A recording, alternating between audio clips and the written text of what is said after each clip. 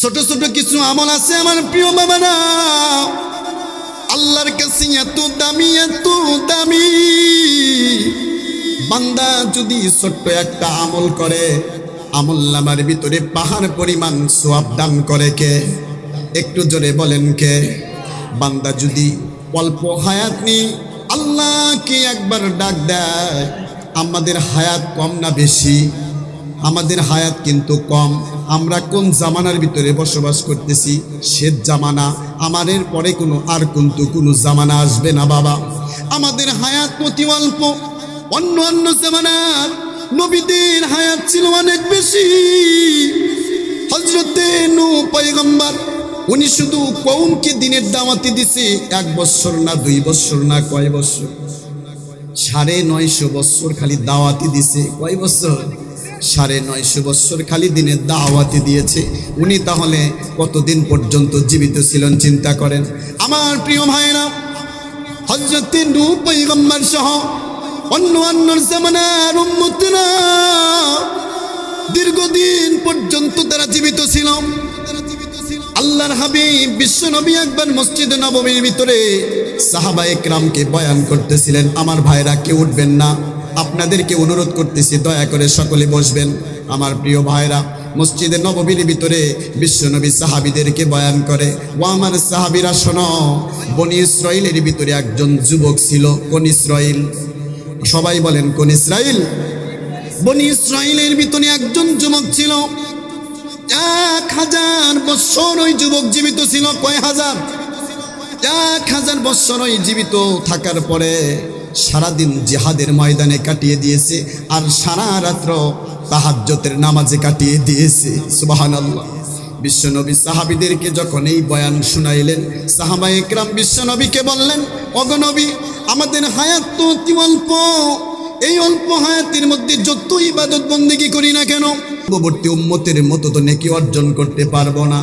রব্বুল আলামিন এই কথা শোনার পরে নবীর প্রতি জিব্রাইলকে পাঠিয়ে দিলেন, জিব্রাইল, যাও, আমার নবীকে জানায় দাও, আপনার উম্মতের হায়াত আমি অতি অল্প দান করেছি, কিন্তু অল্প হায়াতের মধ্যে এমন কিছু দিন, এমন কিছু মাস, এমন কিছু রাত্র, এমন কিছু তসবি তাহালিল দান করে দিলাম।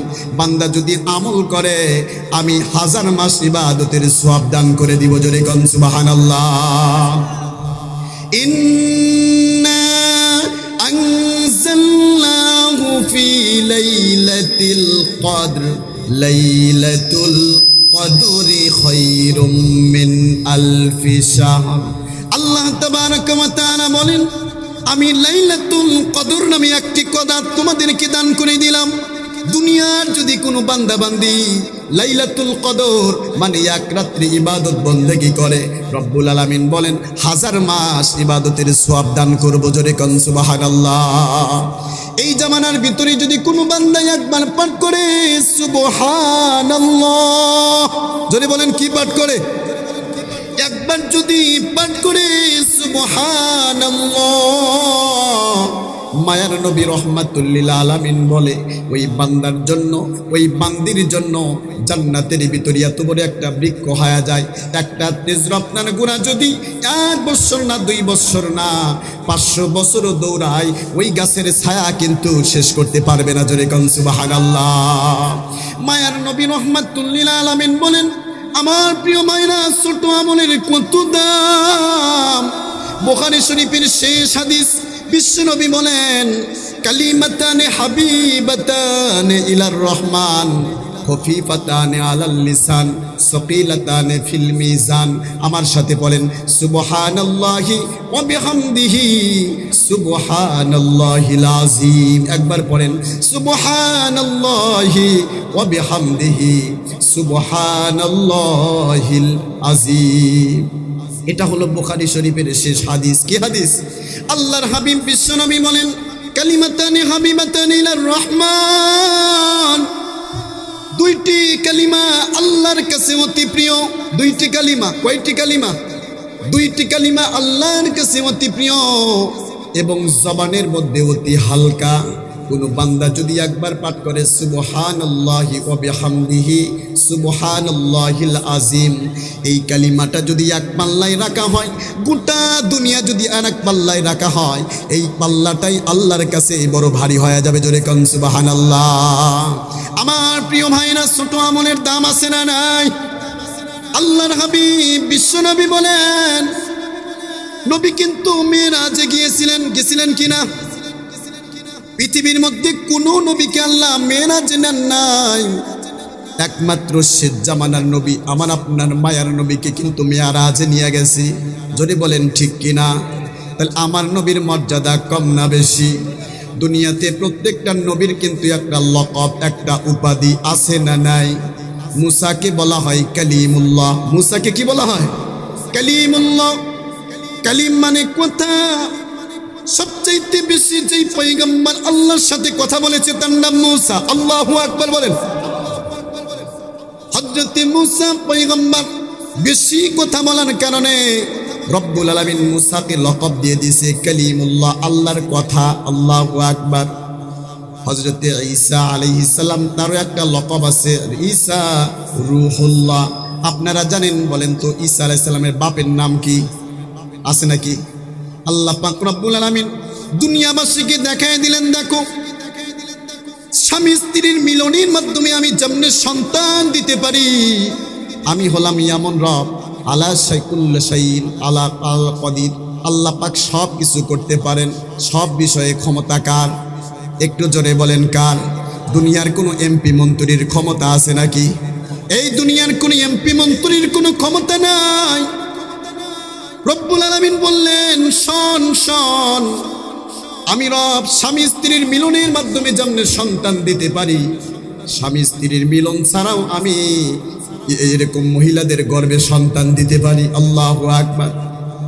হজরতে মারিয়াম আলী ইসলামের পেটের ভিতরে স্বামী ছাড়া সন্তান দান করে দিলেন। আল্লাহ পাক ওই নবীকে একটা লকব দান করলেন, ঈসা রুহুল্লাহ মানে আল্লাহর রূহ আল্লাহর পক্ষ থেকে ফু দিয়ে মারিয়াম আলাহ ইসলামের পেটের মধ্যে ঈসাকে জন্মদান করেছে, জোরে কনসুবাহান আল্লাহ এই জন্য ঈসা পাইগম্বরের একটা লকব আছে, রুহুল্লাহ। ইব্রাহিম নামে একজন নবী ছিল, আপনারা চেনেন নাকি? অনেক পরীক্ষার সম্মুখীন হয়েছে, অগ্নিকুণ্ডের ভিতরে ফেলা হয়েছিল, জোরে বলেন ঠিক কিনা? উনি কিন্তু পরীক্ষায় কি হয়েছে ফার্স্ট হয়েছে। অগ্নিকুণ্ডের ভিতরে ওনাকে যখন ফালানো হয়, উনি বলেন, আল্লাহ পাক বলেন তো দেখি দুনিয়ার কোনো আগুনের পুরাণের ক্ষমতা আছে নাকি? দুনিয়ার কোনো আগুনের ক্ষমতা আছে? নমরুদ যখন ইব্রাহিম পাইগম্বারকে আগুনে ফেলল, আগুনের কাজ হলো জ্বালায়া দেওয়া, কিন্তু কার হুকুমে জ্বালায়? আল্লাহর হুকুম ছাড়া কিন্তু আগুনও জ্বলে না। ইব্রাহিম পৈগম্বরকে যখন আগুনের মধ্যে ফেলা হলো, আল্লাহ পাক আগুনকে ডাক দিয়ে বলে, ইয়া নারু কুনি বারদাউ ওয়া সালামান আলা ইব্রাহিম। আল্লাহ পাক রব্বুল আলামিন আগুনকে ডাক দিয়ে বললেন ইয়া নার হে আগুন কুনি বারদাউ। ওয়া সালামান আলা ইব্রাহিম। খবরদার, তোর ক্ষমতা হলো জ্বালানের, কিন্তু আমার পয়গম্বর ইব্রাহিমের জন্য একটা পশম না পড়ে। সুবহানাল্লাহ। কুনি বারদাউ ওয়া আলা ইব্রাহিম। আমার পয়গম্বর ইব্রাহিমের জন্য তুমি বড় শীতল হয়ে যাও। ও সালামান এত ঠান্ডাও হয় না, আমার নবীর যেন আবার কষ্ট হয়ে যায়, একবারে নিরাপদ ঠান্ডা, আল্লাহ আকবার। ইব্রাহিম পয়গম্বর বলেন, আমি চল্লিশ দিন পর্যন্ত আগুনের মধ্যে ছিলাম। চল্লিশ দিন পর আমি যখন আগুন থেকে বের হলাম, ইব্রাহিম পয়গম্বর বলে, চল্লিশ দিন আগুনের মধ্যে যেমন আরামে ছিলাম, আমার জিন্দেগিতে এত আরাম কখনো পাই না জোরে বলেন, এই সকল ক্ষমতার মালিককে? অল্প বয়সে বৃদ্ধ বয়সে ইব্রাহিম পৈগম্বরকে একটা সন্তান আল্লাহ দান করলেন, নাম কি?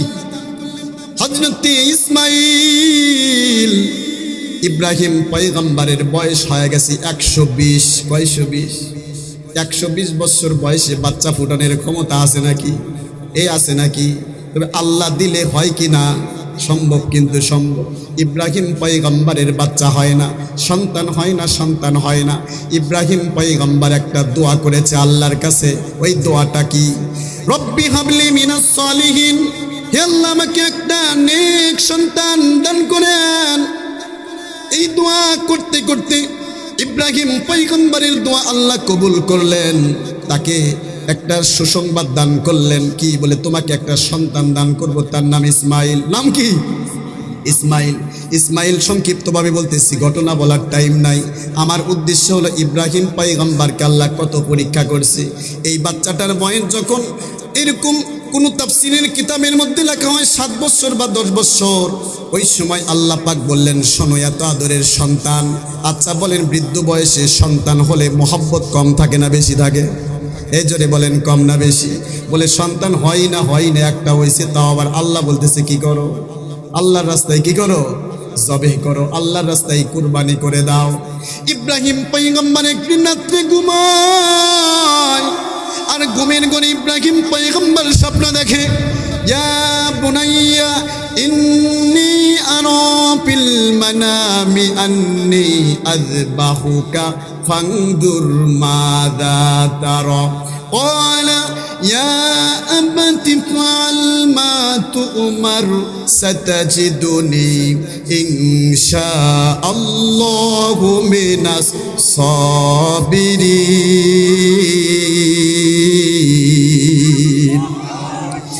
আল্লাহ পাক রব্বুল আলামিন ইব্রাহিম পয়গম্বরকে স্বপ্ন দেখায়।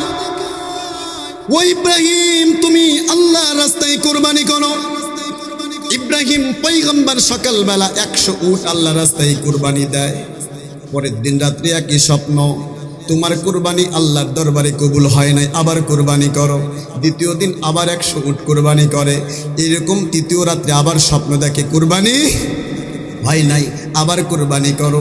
ইব্রাহিম পয়গাম্বার বলে, তৃতীয় রাত্রে যখন আমি ঘুমাই, স্বপ্নের মধ্যে দেখতেছি গাইব থেকে কে যেন বলতেছি, ইব্রাহিম, তোমার কোরবানি কবুল হয় নাই। সবচাইতে প্রিয় জিনিস যেটা, ওইটা কোরবানি করো জোরে কনসুবাহান আল্লাহ ইব্রাহিম পয়গাম্বারের বুঝতে আর বাকি নাই। আমার কাছে দুনিয়ার মধ্যে সবচাইতে প্রিয় হলো আমার সন্তান ইসমাইল। ইসমাইলকে যখনই তিনি কুরবানি করতে গেছে, সংক্ষিপ্তভাবে বলতেছি, আল্লাহ পাক রব্বুল আলামিন তাকে সংবাদ দিয়ে দিল, শোনো, আমার কোরবানি উদ্দেশ্য না। তুমি যখনই ছুরিটা চালাইছো, ছুরির হুকুম হলো, এ ছুরি খবরদার, ইসমাইলের গলায় কিন্তু তুই চলবি না। সুবহানাল্লাহ। ইব্রাহিম পয়গম্বর যখন ছুরি চালায় জান্নাত থেকে একটি দুম্বা রব্বুল আলামিন পাঠিয়ে দিল, যা যা যা, ও জিব্রাইল, তাড়াতাড়ি যা। আমার নবী কিন্তু ইসমাইলকে জবে করে ফেলতেছে।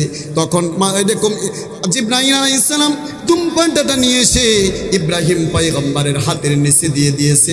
ইসমাইলের পরিবর্তে জান্নাতি দুম্বা কোরবানি হয়ে গেছে। জোরে কন, সুবহানাল্লাহ। এইরকম ভাবে ইব্রাহিম কলিলুল্লাহকে অনেক পরীক্ষা রব্বুল আলামিন করেছেন। সব পরীক্ষায় যখন পাস হয়ে গেছে, তাকে একটি লকব, একটি উপাধি দান করেছে। লকবটা কি? ইব্রাহিম সুবহানাল্লাহ। তাহলে সব নবীন একটা লকব আছে না নাই?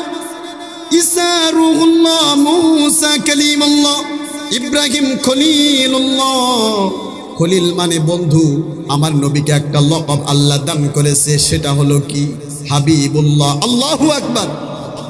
হাবিব মানেও বন্ধু, খলিল মানেও বন্ধু, তবে দুই বন্ধুর মধ্যে পার্থক্য আছে না নাই? বলে, খলিল, এমন বন্ধুকে বলা হয়, যেই বন্ধু নিজে আল্লাহর জন্য পাগল, তাফসিরের কিতাবের মধ্যে লেখা হয়।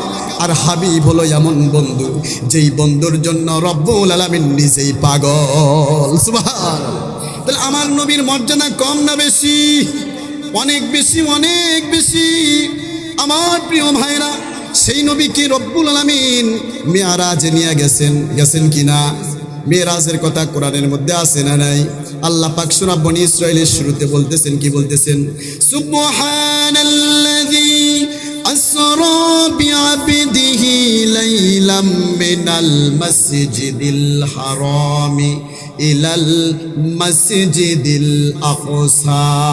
আল্লাহু আকবার। আল্লাহ পাক রব্বুল বলেন বিশ্বনবীকে আমি মেয়ারাজ নিয়ে গেলাম। সংক্ষিপ্ত আমি বলতেছি, বিশ্বনবী মক্কাতুল মোকাররমা থেকে সর্বপ্রথম সফর করেছে কোথায়? মসজিদ আকসা, বর্তমান মসজিদ আকসা কোথায়? ফিলিস্তিনে। যদি বলেন, কোথায়? আজকে যেই মসজিদ আকসা নিয়ে ষড়যন্ত্র চলে মুসলমান। ইহুদি খ্রিস্টানেরা মসজিদ আকসাকে ধ্বংস করে দেওয়ার জন্য একতাবদ্ধ হয়ে গেছে। আপনারা মনে রাখবেন বিশ্বনবী মায়ার নবী বলেছে, লা ইল্লা ওয়াহিদা।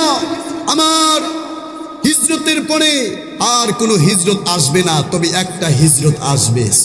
বলেন, সেই হিজরতটা হলো মসজিদ আকসার উপরে বর্তমান ইসরায়েল হেরাদার বাহিনীর যে নির্যাতন করতেছে, যেইভাবে হামলা করতেছে, বিশ্বনবী সাড়ে চোদ্দশো বছর আগে বলে গেছে মনে রাখো, এই ইহুদিদের সাথে মুসলমানদের একটি যুদ্ধ হবে। আল্লাহ আকবর বলেন। সেই ইসরায়েলি বাহিনীর বিরুদ্ধে যদি জাহাজ করার জন্য ডাক দেওয়া হয়, বাংলার জমিন থেকে যাইতে রাজি আছেন না নাই? আল্লাহর ঘরকে হেফাজত করার দায়িত্ব আমাদের আছে না নাই? মসজিদ আকসার মর্যাদা আছে না নাই? আল্লাহর হাবিব বিশ্বনবী বলেন পৃথিবীর মধ্যে দুইটি কোনা, দুইটি জায়গা, দুইটি মসজিদ আল্লাহর কাছে সবচাইতে প্রিয়। জোরে বলেন কয়টা মসজিদ? একটা হলো মসজিদে হারাম আর একটা হলো মসজিদে আকসা। জোরে বলেন কয়টা? পবিত্র কোরআনের মধ্যে দুইটা মসজিদের নাম আছে। কয়টা মসজিদ? দুইটা মসজিদের নাম পবিত্র কোরআনের মধ্যে আছে। কিন্তু বড় চমৎকার এই দুইটা মসজিদের নাম একই সুরা, একই আয়াতের মধ্যে আল্লাহ আকবার। মিনাল মসজিদিল হারামি ইলাল মসজিদিল আকসা। একটা হলো মসজিদে হারাম আর একটা হলো মসজিদে আকসা। একই সুরা, একই আয়াতের মধ্যে আছে। আল্লাহ পাক রব্বুল মসজিদে আকসা নিয়ে এমন মর্যাদা দান করলেন। মায়ার নবী বলেন, মসজিদে হারামের মধ্যে যদি কোনো বান্দাবান্দি নামাজ পড়ে এক রাকাতের বদৌলতে এক লক্ষ রাকাতের সব দান করে জোরে কন সুবাহান আর মসজিদে আকসার মধ্যে যদি কোনো বান্দা এক রাকাত নামাজ আদায় করে, আল্লাহর নবী, মায়ার নবী বলেন, কোন কোন রেওয়ায়তের মধ্যে আসছে পাঁচশো রাকাত, কোন রেওয়ায়তের মধ্যে আসছে পঞ্চাশ হাজার রাকাতের সব দান করে দেয় জোরে কন সুবাহান আমার প্রিয় বাইতুল্লার দিকে, বাইতুল্লাহর মর্যাদা আছে না নাই? একটু জোরে বলেন, আছে না নাই? পৃথিবীর মধ্যে তিনটা জিনিসের মর্যাদা এমন। বান্দা যদি তিনটা জিনিসের দিকে তাকায়, শুধুমাত্র তাকাইলেই আমল আমল্লামায় নেকি লেখা শুরু হয়। আল্লাহ আকবার। এর মধ্যে একটি হলো বাইতুল্লাহ। আল্লাহর হাবিব বিশ্বনবী বলেন, এই যে কালো গেলাম দেন আপনি তো বাইতুল্লাহ। কোনো বান্দা যদি রহমতের দৃষ্টি নিয়ে হজ অথবা উমরাই গিয়ে এই বাইতুল্লাহর দিকে শুধু যদি তাকায়া থাকে, সেকেন্ডে সেকেন্ডে সগিরা গুনা মা তো বাইতুল্লাহর দিকে বাইতুল্লার মর্যাদা আছে না নাই? একটু জোরে বলেন, আছে না নাই? পৃথিবীর মধ্যে তিনটা জিনিসের মর্যাদা এমন। বান্দা যদি তিনটা জিনিসের দিকে তাকায় শুধুমাত্র তাকাইলেই আমল্লামায় নেকি লেখা শুরু হয়। আল্লাহ আকবার। এর মধ্যে একটি হলো বাইতুল্লাহ। আল্লাহর হাবিব বিশ্বনবী বলেন, এই যে কালো গেলাম দেন আপনি তো বাইতুল্লাহ। কোনো বান্দা যদি রহমতের দৃষ্টি নিয়ে হজ অথবা উমরাই গিয়ে এই বাইতুল্লাহর দিকে শুধু যদি তাকায়া থাকে, সেকেন্ডে সেকেন্ডে সগিরা গুনা মা বাবার কেন? দৈনিক যদি কোনো বান্দা রহমতের দৃষ্টি নিয়ে মা বাবার দিকে এক হাজার বৎসর তাকায়া থাকে, প্রত্যেকটা সেকেন্ডে সেকেন্ডে আল্লাহ তালা কবুল হজের সব দান করবে। জোরে কন সুবাহান আল্লাহ চলে গেলেন সেই মসজিদে, আকসার আলোচনা করতেছিলাম। বর্তমান সেই মসজিদে হারামের দিকে আমরা মুখ করে নামাজ পড়ি। এটা এর দিকে মুখ করে নামাজ পড়ার আগে মুসলমানদের প্রথম কেবলা নাম কি? মসজিদে আকসা। আমরা কিন্তু ওই দিকে মুখ করে বিশ্বনবী নামাজ পড়েছে। কিন্তু বিশ্বনবীর দিলে তামান্না ছিল। আল্লাহ যদি কেবলাটা পরিবর্তন করে আকসা থেকে বাইতুল্লার দিকে করে দেয়। বিশ্বনবী হিজরতের সাত অথবা ছয় মাস পরে বিশ্বনবীর দিলেন তামান্না আল্লাহ পূরণ করলেন। মায়ার নবীকে জানায় দিলে নগো নবী, আপনার আশা হলো বাইতুল্লার দিকে মুখ করে নামাজ পড়বেন, যান যান। আজ থেকে আকসার দিকে না, মসজিদে হারাম মানে বাইতুল্লার দিকে নামাজ পড়বেন, জোরে কন সুবাহান আল্লাহ বিশ্বনবী হিজরত করে মেয়েরাজের রাত্রে যখন চলে গেলেন মসজিদে আকসার ভিতরে, মসজিদে আকসার মধ্যে যাওয়ার পর আল্লাহ পাক পৃথিবীর সুলগ্ন বাবা আদম থেকে নিয়ে পৃথিবীর জমিনে যত নবী পাঠাইছেন, সব নবীদেরকে জুমা করছে, আল্লাহ আকবার বলেন বাবা আদম থেকে নিয়ে যত পয়গাম্বার আছে, সব পয়গাম্বার ওখানে জমা হয়ে গেছে। আল্লাহ নবীর সাথে সব পয়গাম্বার সাক্ষাৎ করেছে। দেখা সাক্ষাৎ করতে করতে ফজরের নামাজের টাইম হয়ে গেছে। জিব্রাইল আলাই সাল্লাম আজান দিয়ে দিছে, আল্লাহ আকবার আল্লাহ আকবার। সব সব ফিনিস্তানা এরকমভাবে সব নবীরা সুন্নত আদায় করলেন। ফজরের নামাজের সুন্নত আদায় করা এত পয়গাম্বার আজকে ফজরের নামাজের ইমামতি কে করবে? আচ্ছা বলেন, এই জায়গায় ইমামতি করলে লাভ আছে না নাই? কোনো নবীর সামনে যাওয়ার সাহস পায় না। জিব্রাইলকে আল্লাহর পক্ষ থেকে অর্ডার দেওয়া হয়। ও গো জিব্রাইল তাড়াতাড়ি বিশ্ব নবীর হাতটাকে ধরে সামনে অগ্রসর করে দিয়ে বলো, আজকের এই মোবারক রাত্রে সকল নবীদের ইমামতি আপনি করবেন জোরে কন সুবাহান আল্লাহ এরপর থেকে বিশ্বনবী বলা হয় সাইয়দুল আম্বিয়া। মানে সকল নবীদের সর্দার কিন্তু তাকে বলা হয়। যদি কোন, ঠিক না ব্যাঠি?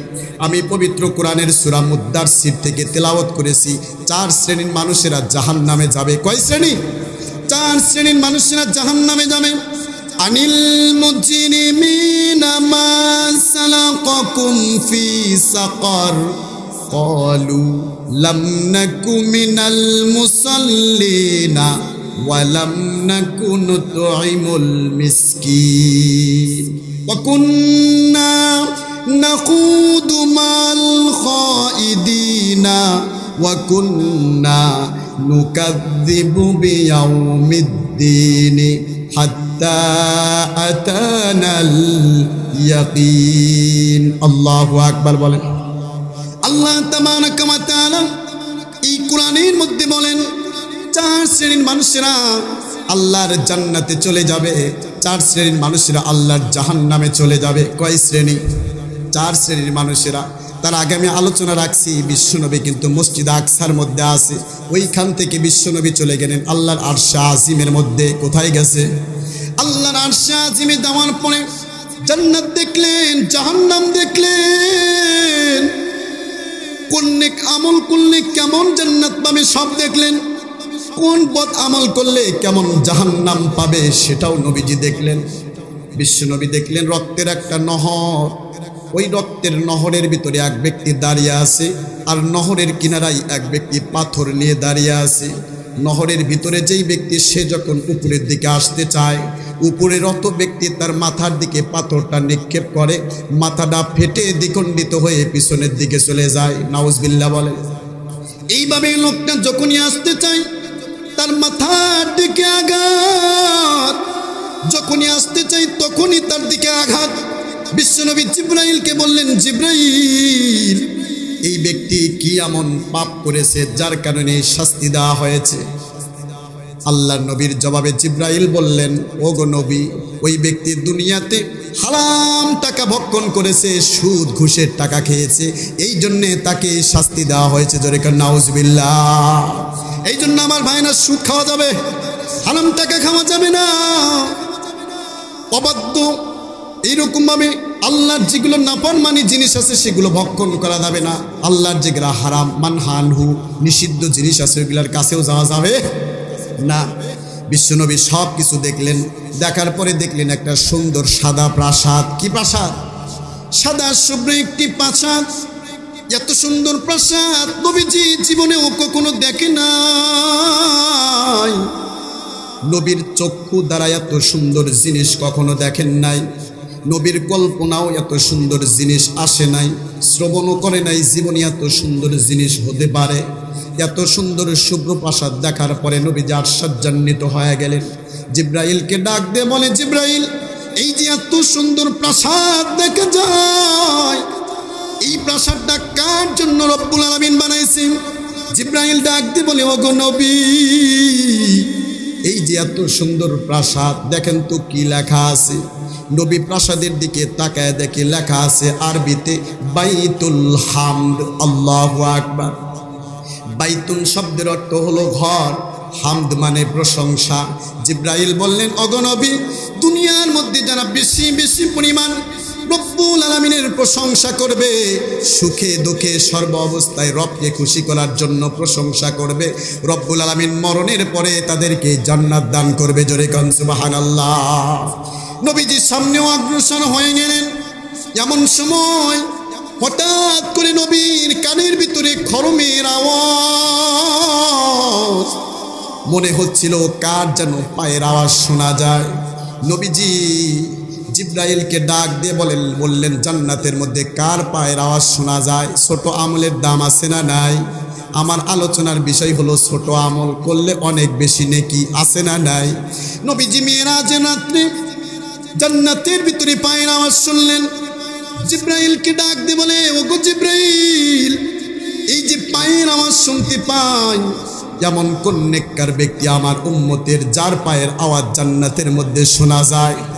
জিব্রাইল ডাক দিয়ে বললেন, উনি হলেন সব চাইতে কালো সাহাবি সব চাইতে বিভৎস চেহারার অধিকারী আপনার সাহাবিদের মধ্যে হজরতে বেলাল। আল্লাহ আকবার। নবীজি মিরাজ থেকে ফিরে আসলেন। হজরের নামাজ হয়ে গেল। হজরের নামাজের পরে ইলান করে দিলেন শোনো সাহাবিরা। বিলাল কোথায় আছে? তাড়াতাড়ি ডাক দাও। নামাজের পরে বেলাল যেন আমার সাথে সাক্ষাৎ করে।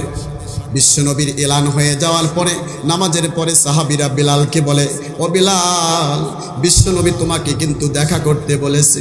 হজরতে বিলালেন শরীরের ভিতরে কম্পন সৃষ্টি হয়ে গেছে। না জানি কি অপরাধ করলাম বিশ্বনবী কোনোদিন নামাজের পরে এইভাবে দেখা করতে বলে না।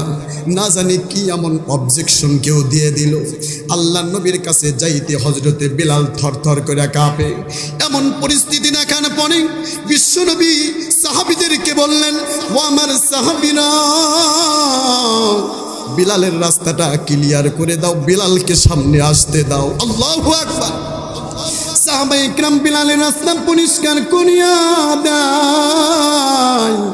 হজরতে বিলাল কাঁপতে কাঁপতে সামনে আসার পরে বিশ্বনবী বিলালকে ডাক দিয়ে বলে, বিলাল, শোনো, তোমার কোনো দুঃখের সংবাদ না, আজকে দিব সুখের সংবাদ, জোরে কনসবাহান আল্লাহ ও গো বিলাল, আমি যখন জান্নাতের ভিতরে গেলাম যাই দেখি সেই এত সুন্দর জান্নাত। সেই জান্নাতের ভিতরে তোমার পায়ের খরমের আওয়াজ। আল্লাহ ওগো বিলাল, তুমি এমন কি নেকেস করে একটু বলো না। আমরা সাহাবিরা, আমরা সবাই একটু আমল করতে চাই। হজরতে বিলাল বলে, ওগো নবী, এমন উল্লেখযোগ্য কিন্তু কোনো আমল আমার জানা নাই। তবে বিশ্ব নবী আপনার জবান থেকে শুনেছি, তাহিয়াতুল ওজু নামে দুই রাকাত নামাজ। জোরে বলেন, কিসের নামাজ? তাহিয়াতুল উজু নামে দুই রাকাত নামাজ। বান্দা যখনই অজু করবে, অজু করার পরে যদি বান্দা দুই রাকাত নামাজ পড়ে, সঙ্গে সঙ্গে এটাকে বলে তাহিয়াতুল অজু। আল্লাহর হাবিব বিশ্বনবী এটার ফজিলত বর্ণনা করলেন। করার পরে বিলাল বনে অগনবী এই নামাজের ফজিলত যেই দিন থেকে আমি শুনছি, ওই দিন থেকে অজু করার পরে কোনো কখনো আমি দুই রাকাত নামাজ পড়া বাদ দেই নাই। জোরে কনসুবাহান আল্লাহ হজরতে বিলালকে বিশ্বনবী ডাক দিয়ে বলে, ওগো বিলাল তোমার এই আমলটা আল্লাহর কাছে এত প্রিয় যে তুমি দুনিয়াতে হাঁটো, তোমার পায়ের আওয়াজ আল্লাহ জান্নাতের মধ্যে পৌঁছে দেয় জোরে কনসুবাহান আল্লাহ আমার প্রিয় ভাইরা আলোচনার সময় আমার অতি অল্প। আল্লাহ নার্সে আজিমের মধ্যে একটা নূরের খুঁটি।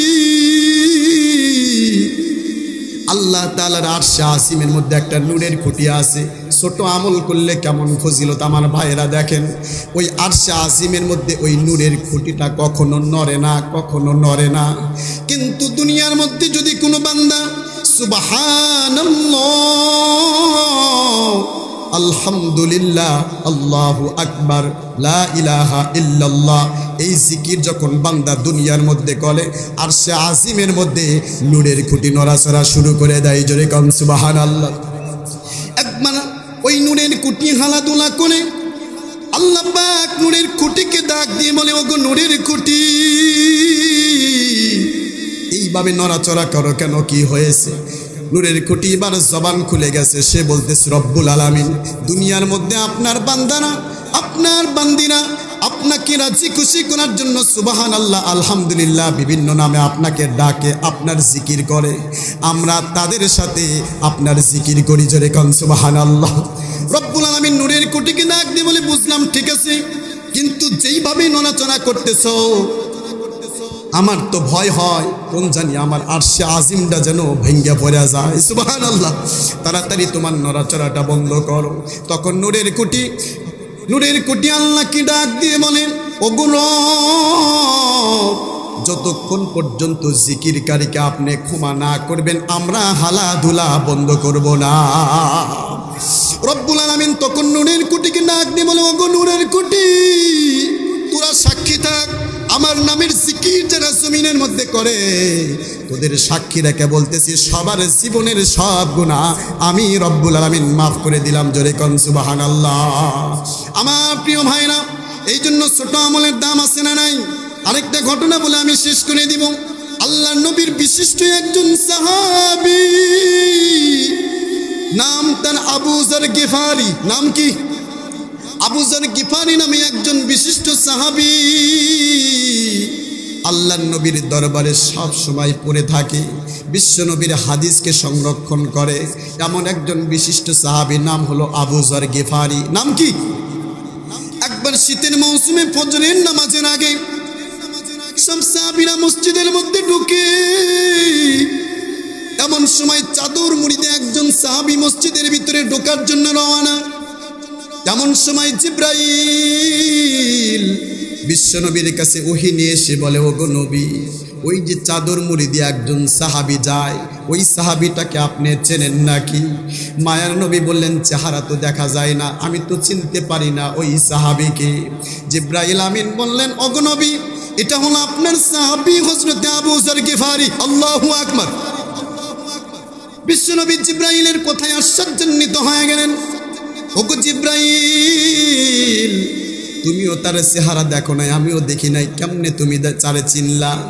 জিব্রাইল এবার বিশ্বনবীর জবাবে বলে, ওগো নবী, আপনার সাহাবি আবুজার গিফারিকে শুধু আমি চিনি না, আর সে আজিমের মধ্যে যত ফেরিস্তা আছে, সবাই আবুজার গিফারিকে চেনে জোরে কান সুবাহান আল্লাহ বিশ্বনবী আবু বিশ্বনবী জিব্রাইলকে ডাক দিয়ে বললেন, জিব্রাইল আবুজার গিফারির কি এমন বিশেষ গুণ?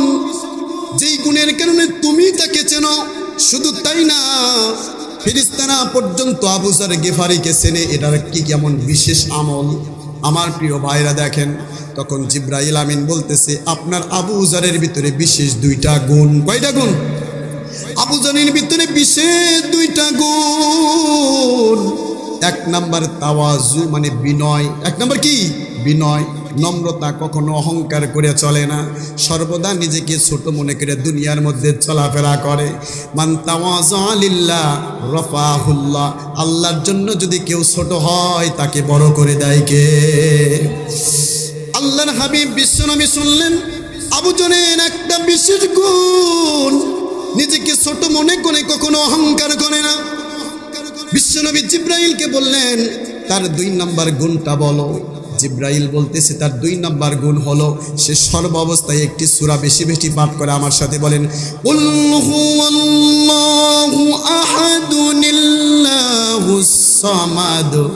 লাম ইয়ালিদ ওয়ালাম ইউলাদ ওয়ালাম ইয়াকুল্লাহু কুফুয়ান আহাদ। আল্লাহু আকবার। এই সুরা যদি কোনো বান্দা একবার যদি পাঠ করে দশ পারা কোরআনের সোয়াব, কয় পারা দুইবার যদি কোনো বান্দা পড়ে বিশ পারা তিনবার পড়লে কয় পারা, তিরিশ পারা, মায়ার নবী বলে। সোরাই এখলাস যদি কোনো বান্দা তিনবার যদি পাঠ করে, পুরা কোরআন কতবের সোয়াব আমল নামাই লেখা হয় যদি কন সুবাহান আল্লাহ আমার প্রিয় ভাইয়ের আলোচনা লম্বা করব না। আমি বলছিলাম, চান কারণে মানুষ জাহান নামে যাবে? এক নম্বর দুনিয়াতে যারা নামাজ পড়ে নাই, কি পড়ে নাই? মিনাল দুনিয়াতে মুসল্লি ছিল না মানে নামাজ পড়ে নাই। দুই নাম্বার হলো ওয়ালামনা কোনো তোয়াইমুল মিসকিন, যারা ইতিম অসহায়দেরকে খাবার খাওয়ায় নাই। তিন নাম্বার ওয়াকুন্না নাহুদ মাল খাইদিন ইসলামের বিরুদ্ধাচরণ করেছে। আছে না নাই? এই বাংলার জমিনে বিরানব্বই পার্সেন্ট মুসলমানের দেশে ইসলাম আছে, ইসলাম থাকবেই। ওই সমস্ত নাস্তিক মোর্তাদের ঠাই হবে না হবে না হবে না।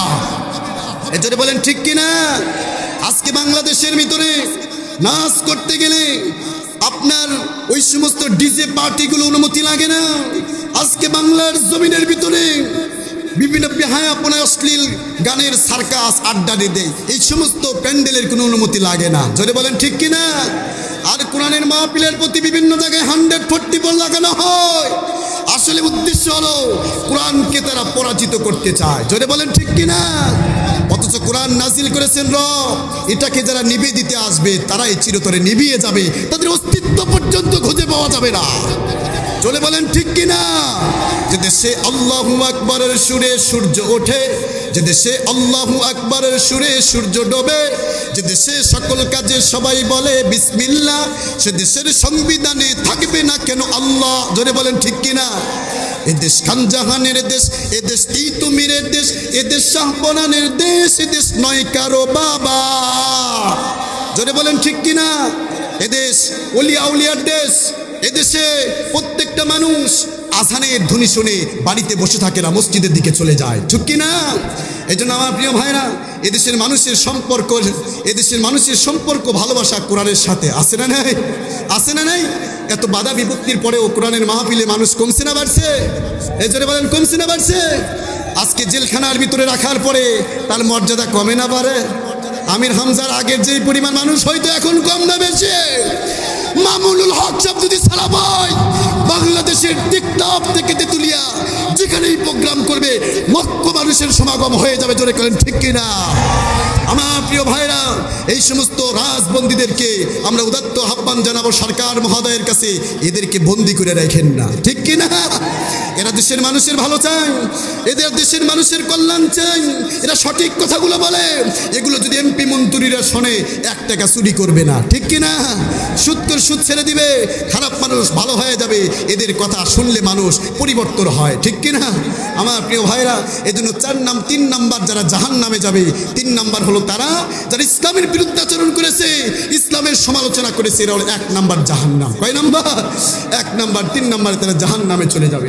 আর চার নাম্বার হলো যারা ক্যামত দিবসকে অস্বীকার করেছে। কোন দিবস? ক্যামত দিবসকে।